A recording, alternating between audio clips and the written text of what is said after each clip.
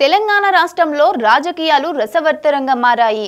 Dubbaka GHMC ఎన్నికల ఫలితాలతో రాష్ట్రంలో పొలిటికల్ సీన్ మారిపోయింది. ప్రస్తుతం ఎలాంటి ఎన్నిక జరిగినా దాని అధికార పార్టీతో సహా అన్ని పార్టీలు ప్రతిష్టాత్మకంగా తీసుకుంటున్నాయి. ఎవ్వరికి వారు వ్యూహాలు రచిస్తూ పక్క ప్రణాళికలు వేస్తున్నారు. త్వరలో జరగనున్న సాగర్ ఉప ఎన్నికపై ఇప్పుడు అన్ని పార్టీలు గురిపెట్టాయి. అభ్యర్థి విషయంలో సమాలోచనలు చేస్తున్నాయి.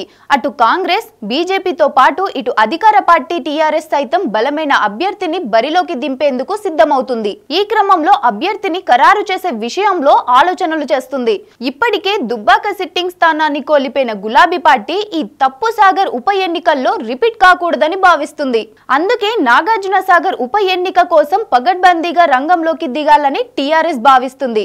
అయితే మొదట జానారెడ్డిని పార్టీలోకి తీసుకొని ఆయనకు లేదా ఆయన కుమారుడికి టికెట్ ఇవ్వాలని టీఆర్ఎస్ అనుకుంది. కానీ ఈలోపే జానారెడ్డి పార్టీ మారేదే లేదని కుండబద్దలు కొట్టినట్టు చెప్పేశారు. దీంతో మరో అభ్యర్థిపై దృష్టి పెట్టింది గులాబీ దండు. ఇందులో భాగంగా మండలి చైర్మన్ గుత్త సుఖేందర్ రెడ్డికి నియోజకవర్గంలో పని చేసుకోవాలని చెప్పినట్టు వార్తలు వచ్చాయి. దీనిపై గుత్త కూడా స్పందించారు. తనకు అలాంటి సమాచారం ఏం లేదని చెప్పేశారు. అంతేకాకుండా సాగర్ ఉప ఎన్నికలు అన్ని పార్టీలు ఏకగ్రీవంతో ముందుకు వెళ్ళనున్నారు తాజాగా ఎస్టీ సామాజిక వర్గానికి చెందిన నేతను బరిలో నిలపాలని టీఆర్ఎస్ యోచించింది మరోవైపు ఇదే సమయంలో మెగా ఫ్యామిలీకి చెందిన వ్యక్తిని రంగంలోకి దించాలని భావిస్తున్నారు కేసీఆర్. టీఆర్ఎస్ పార్టీకి చెందిన నేత సినీ ఇండస్ట్రీకి చెందిన బలమైన వ్యక్తి బంధువుకు టికెట్ ఇస్తారని చర్చ సాగుతుంది. సినీ హీరో అల్లు అర్జున్ మామ కంచర్ల చంద్రశేఖర్ రెడ్డి పేరు తాజాగా తెరపైకి వచ్చింది. గతంలో ఆయన ఇబ్రహీంపట్నం నియోజకవర్గంలో టీఆర్ఎస్ తరపున పోటీ చేసి ఓడిపోయారు. ఆయన సొంత నియోజకవర్గం నాగార్జున సాగర్. దీంతో ఆయనను నాగార్జున సాగర్ బరిలో దింపితే ఎలా ఉంటుందనే పార్టీలో చర్చ సాగుతుంది.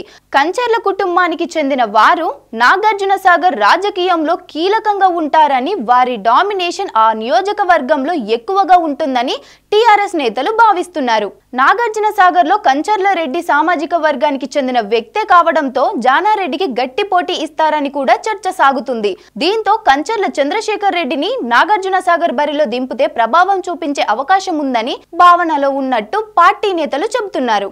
అయితే ఇంతవరకు ఎవరికి టికెట్ ఖరారు చేయాలన్న దానిపై అధిష్టానం ఇక నిర్ణయించుకోలేకపోతుంది. దుబ్బాక దెబ్బతో నాగార్జున సాగర్ సిట్టింగ్ స్థానం నిలబెట్టుకునేందుకు టీఆర్ఎస్ ఎలాంటి అడుగులు వేస్తుందో మరి వేచి చూడాలి. నమ్మకమైన మీ ఆర్థిక నేస్తం భవితశ్రీ చిట్ ఫండ్స్. భవితశ్రీ చిట్స్తో శ్రీకారం బంగారు భవిష్యత్తుకు సాకారం. హాయ్ యోర్స్ మన స్పాట్ న్యూస్. ఇప్పుడు షేర్ చాట్ డైరీ హండ్ యాప్స్లో కూడా ఉంది.